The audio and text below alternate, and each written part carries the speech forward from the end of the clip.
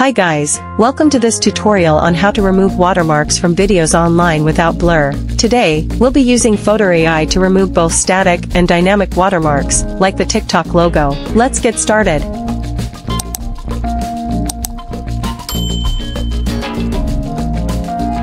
First, head over to Google and search for Fotor Remove Text from Video.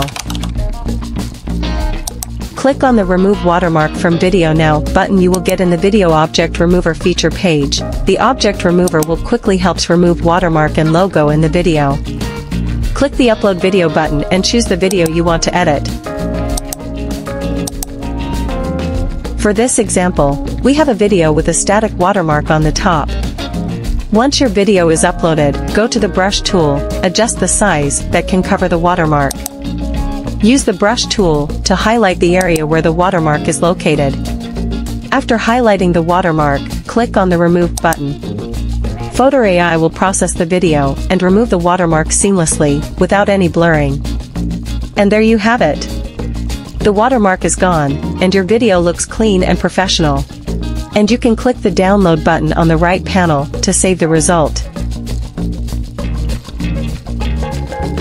Now, let's move on to removing a dynamic watermark, like the TikTok logo. Start by uploading your saved TikTok video to Fotor AI.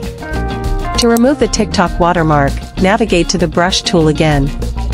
Mark all the areas where the TikTok logo appears throughout the video. Once you've marked the watermark areas, click on Remove. Fotor AI will analyze the video and intelligently remove TikTok logo from video, ensuring a smooth and clean result.